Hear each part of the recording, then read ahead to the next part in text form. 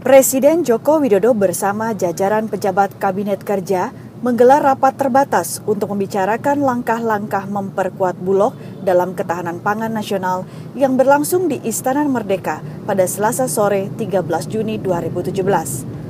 Dalam rapat ini, Presiden Joko Widodo menegaskan bahwa ketahanan dan kedaulatan pangan merupakan hal yang penting bagi bangsa Indonesia.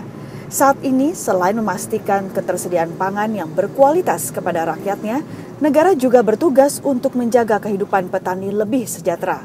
Presiden mengingatkan agar rakyat jangan sampai kesulitan dalam mendapatkan bahan pangan, karena barangnya tersedia di pasar serta bisa membelinya dengan harga yang terjangkau.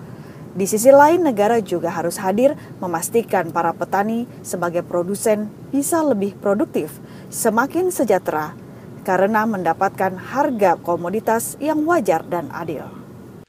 Pangan adalah soal hidup dan matinya bangsa dan saat ini yang dibutuhkan oleh rakyat bukan hanya ketersediaan pangan dengan kualitas yang baik, yang bergizi, yang harganya terjangkau, tapi juga kita harus menjaga agar para petani, produsen pangan tidak selalu dikalahkan, sehingga kita harapkan mereka dapat hidup lebih sejahtera. Untuk itu diperlukan kehadiran negara untuk memastikan agar rakyat menjadi konsumen dan